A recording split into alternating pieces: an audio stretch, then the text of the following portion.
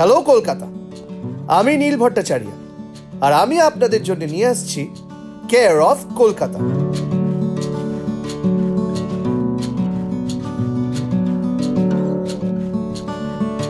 যেখানে আমরা গল্প করব আমাদের প্রিয়তমা শহর কলকাতার সাথে।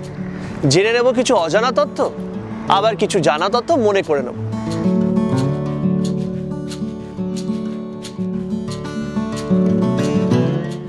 দেশ বিদেশের ব্লগিং তো অনেক হলো।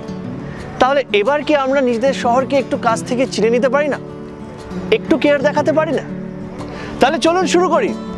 Care of Kolkata.